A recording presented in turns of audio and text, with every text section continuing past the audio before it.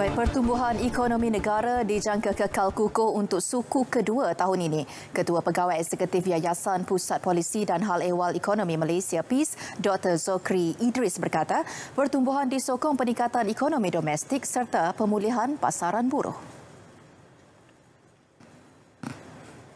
Pertamanya kita melihat apabila uh, kepenggunaan dan transaksi ekonomi domestik yang semakin berkembang uh, pada suku pertama ini akhirnya akan mengakibatkan pertumbuhan ekonomi yang konsisten pada KDNK. Keduanya apabila kita juga berjaya mengurangkan kadar pengangguran pada 3.9% di mana kita menyaksikan lebih banyak mobilisasi dan aktiviti ekonomi dan penjanaan pendapatan oleh rakyat Malaysia pada suku pertama dan juga suku kedua pada tahun ini.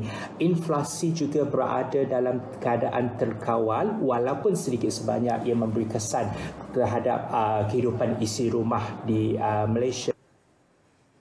Meramalkan ekonomi negara tumbuh pada 5.5 suku kedua tahun ini, jelasnya konflik yang tercetus antara Rusia dan Ukraine serta dasar sifar COVID yang dilakukan China ketika ini sedikit sebanyak memberi impak kepada ekonomi Malaysia.